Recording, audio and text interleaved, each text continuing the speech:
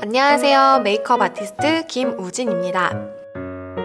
오늘 소개해드린 메이크업은 어, 전 대학생은 아니지만 대학생처럼 풋풋한 느낌이 나고 또 일상에서 꾸민 듯 안 꾸민 듯 화사한 느낌을 낼 수 있는 daily 메이크업을 알려드리려고요.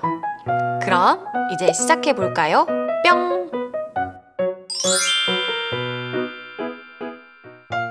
메이크업 전 기초 케어를 해볼 건데요.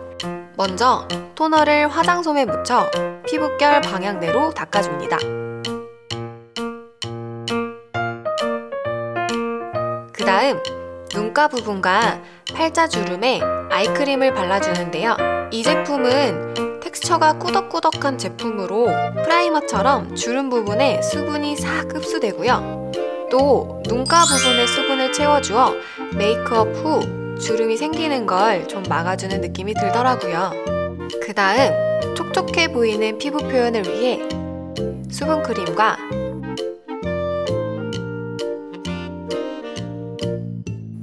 로션을 발라줍니다.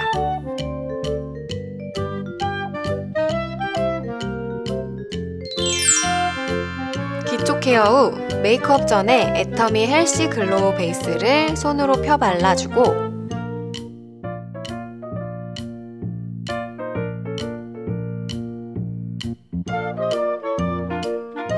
흡수가 잘 되도록 마구마구 두들겨주세요.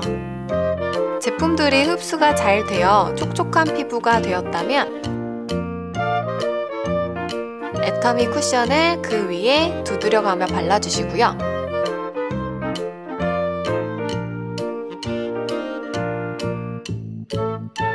촉촉한 피부 표현을 위해 파우더 처리는 유분기가 많은 T zone 중심으로만 발라주시고 나머지는 소량으로 가볍게 발라주었어요.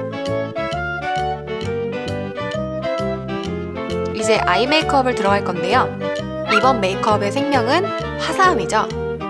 눈매의 화사함을 극대화시켜줄 애터미 핑크 브라운 아이섀도우 키트에 섀도우 5번 컬러를 손가락을 이용하여 눈두덩이와 애교살 전체에 펴발라 눈에 은은한 조명을 연출시켜주세요.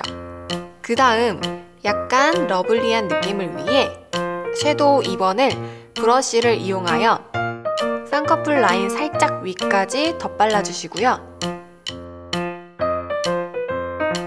마지막으로 섀도우 6번으로 눈꼬리 부분에만 음영을 주듯 섀도우를 칠해주세요.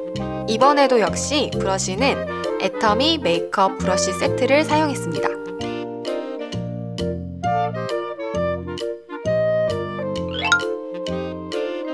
다음 애터미 붓펜 liner 2번 dark brown 컬러로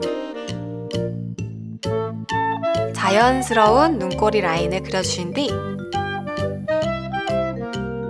애터미 Lash Power Mascara 제품으로 속눈썹의 길이감을 극대화시켜주세요.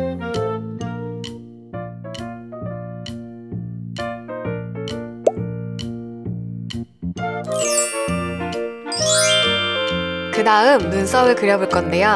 자연스러운 색감 연출을 위해 애터미 eyebrow pencil milk brown 컬러로 눈썹에 결대로 메워 일자 눈썹을 그려주신 뒤 그 위에 eyebrow 카라 dark brown 컬러를 칠해 눈썹의 톤과 결을 정리해주세요. lip은 애터미 립스틱 526번과 454번을 준비했는데요. 먼저 526번 컬러로 lip 전체에 베이스 컬러를 깔아주신 뒤 454번을 안쪽에 덧발라 물드는 듯한 자연스러운 lip을 연출해주세요.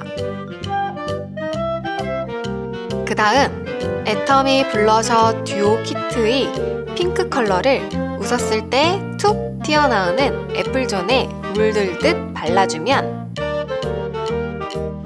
은은한 화사함이 도는 데일리 메이크업 끝!